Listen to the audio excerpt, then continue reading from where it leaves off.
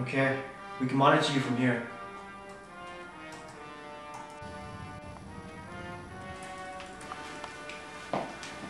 You'll be able to see and hear everything through these glasses and these headphones.